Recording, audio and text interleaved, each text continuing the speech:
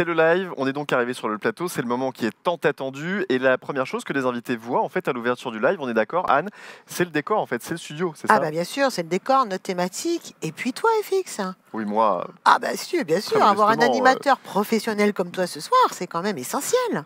gentil. Et qui de mieux que toi pour en parler avec ton compère Avec Stéphane. effectivement, effectivement quelqu'un que je connais bien, qui est avec nous en duplex et qui vient de nous rejoindre, il s'appelle effectivement Stéphane. Bonsoir Stéphane.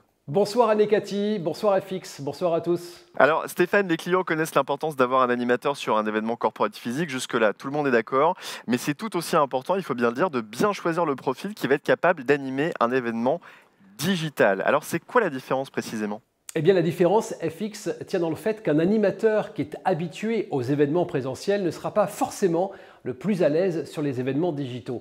Le digital reprend les codes de la télévision. Il faut donc réagir par rapport à une configuration plateau, par rapport à un auditoire qui est connecté derrière un écran ou un laptop et c'est totalement différent. On n'interagit pas de la même manière avec les intervenants et avec le public.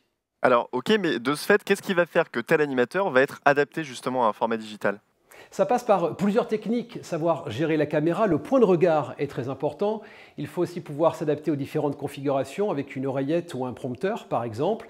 La posture, la gestuelle sont capitales, le travail respiratoire aussi est particulièrement important.